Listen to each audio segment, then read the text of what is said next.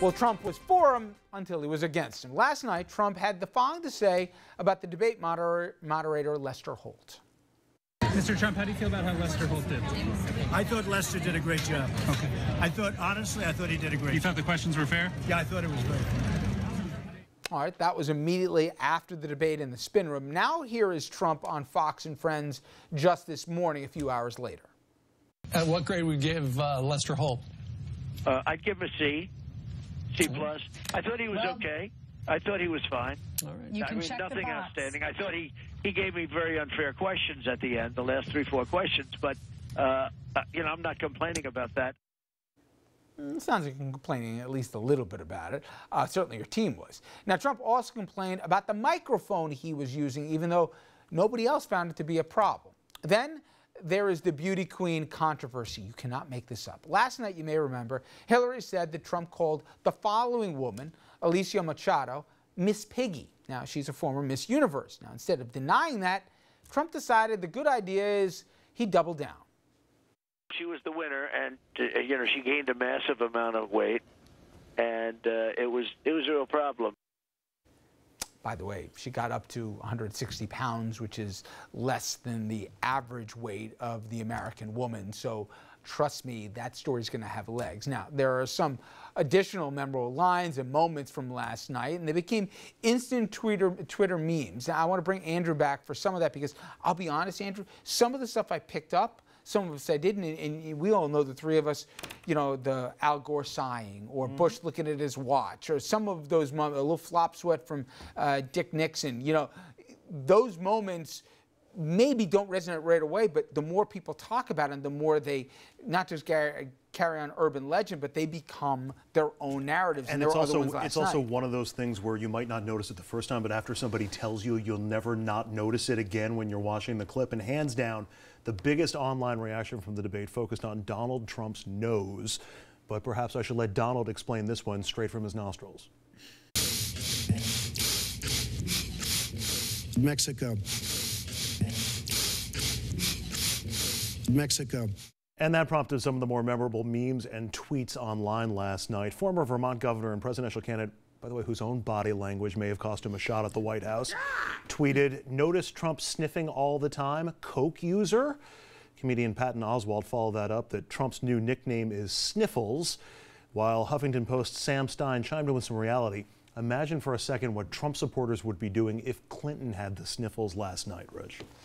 Okay, and, and by the way, you picked up on it, and, Within and the first five minutes of the debate, I, I knew it. I, could, I first of all, I could hear what was happening, and I and I could see it. They had the volume turned way up in the in the uh, reporters' room last night, and it was just it was noticeable. I was typing something and taking notes on the debate, and I heard it for maybe the third or fourth time, and looked up because it, it caught my ear and it caught my eye. It was just that noticeable, and it was happening all the time. And in the middle of his sentences, he would say something like this, and then all of a sudden talk and continue on like that. And so it was it was totally noticeable. And, and you're not the only one. I heard a lot of other people uh, mentioning it. Now, Those things matter. Those things matter. im- apparently, and they got their own narratives, right? Yeah, and then uh, there were some other memes that went through last night. The next one, that Howard Stern and Sean Hannity's names even made it into the debate, and it, and they did. Uh, I think we have a clip of that we can play for you. When I did an interview with Howard Stern, very lightly, first time anyone's asked me that, I said, very lightly, I don't know, maybe, who knows, essentially. I then spoke to Sean Hannity, which everybody refuses to call Sean Hannity. Howard Stern and Sean Hannity. Twitter named Wes Reynolds pointed out, talked about at tonight's debate, Rosie O'Donnell and Howard Stern, not talked about education reform, environment, health care. Comic Paula Poundstone tweeted, For those of you who missed it, I think the best line of the night was when Trump said, No one wants to call Sean Hannity. While Russell Moore wrote, The words Howard Stern just came up in a debate for President of the United States. James Madison weeps somewhere. Did you ever think we would see the day Howard Stern makes it into the presidential But debate? not just makes it in, but he was the one that asked the question, um, which is deciding, uh, you know, whether or not Howard, uh, whether or not Donald Trump, in fact, was for the war or not. So it wasn't just all the stuff that he did say in that same interview with Stern about women and everything else. And on the subject of what Trump said about women. Listen, there seems to be two constituencies still up for grabs, and it's not to your point, which is turnout um, and uh, invigorating the base, which I 100% agree with, are going to be huge. Latino and African American, the turnout will have a huge impact on this race. But of the folks that are still on the fence, I don't know how you possibly still could be at this point, one way or the other, but nonetheless, white college educated male, um, and also some of the female electorate, um, which are going in larger numbers for Hillary uh, than before. Well, last night, he did everything in his power, seemingly, between interrupting her at every turn, uh, what he had to say about uh, the beauty contestant, um, what he said about the Rosie O'Donnell stuff. I can go on and on here. Um, he didn't do himself any favors, but I think that comment that he went on this morning on morning TV on a Fox channel for crying out loud and insulted her once again and that she got huge in the rest, that's going to have legs beyond just today. Here's what's going to happen, Richard. For the folks, and I don't mean to offend any of his supporters, but for the folks that are already with Trump, rah, go, Donald, you tell him, you tell that Lester No Holt. PC, yep. Right, no PC, we're taking our country back. For the rest of us, for him to, I'm not even going to say insinuate, for him to basically tell a woman, I mean, it's, it's outrageous. You, you're, you way too much. Who are you?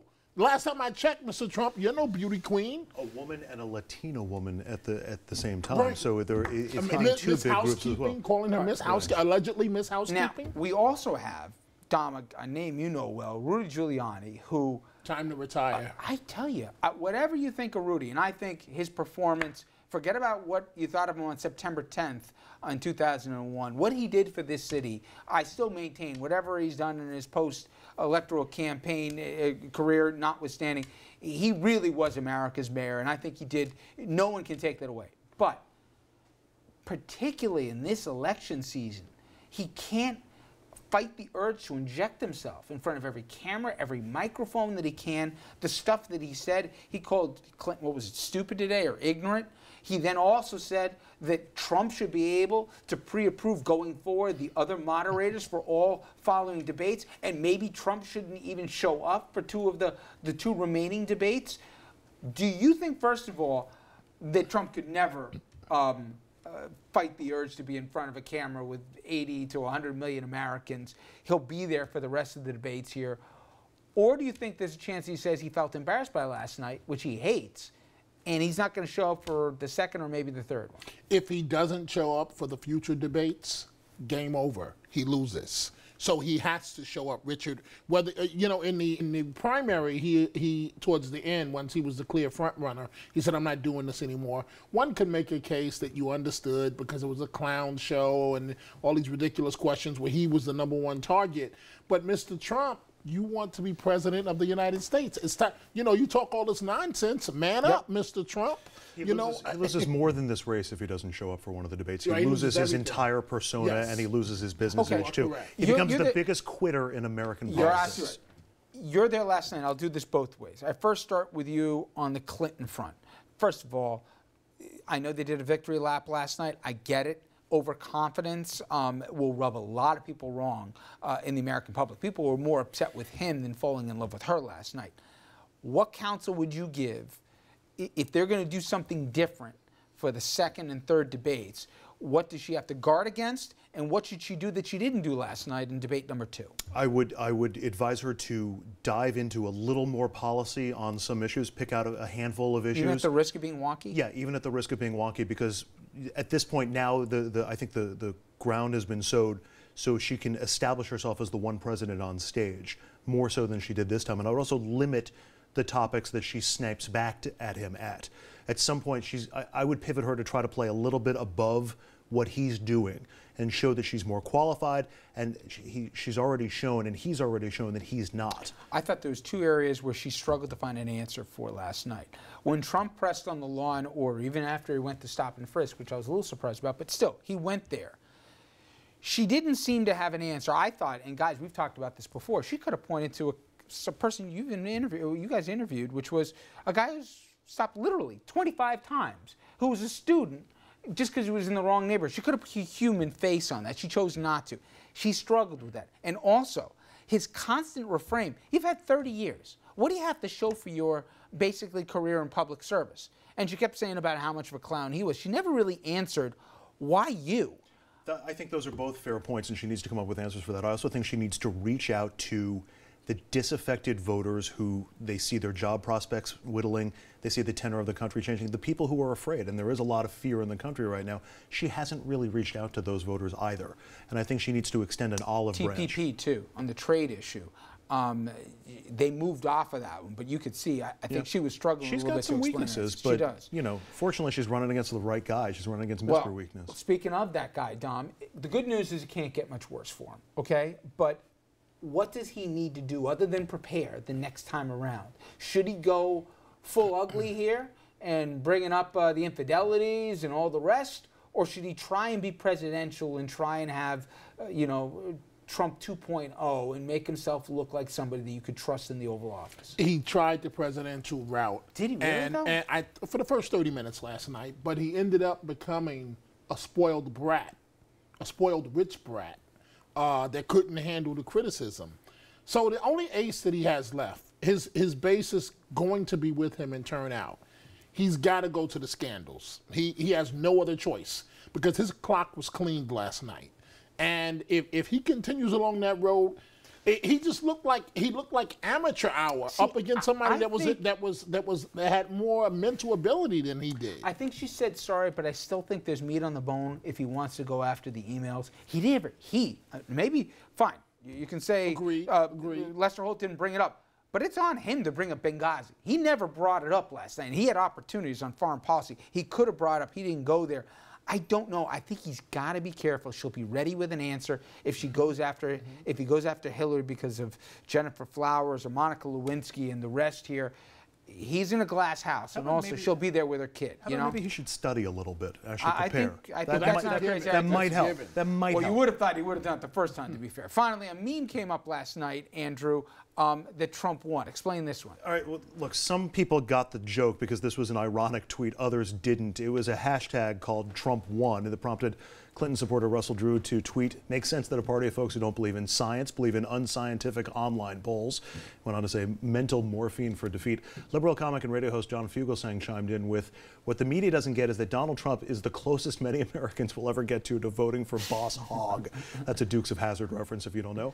Comedian Frank Conniff, TV's Frank from Mystery Science Theater 3000, writing, Trump won is the Trump University diploma of hashtags.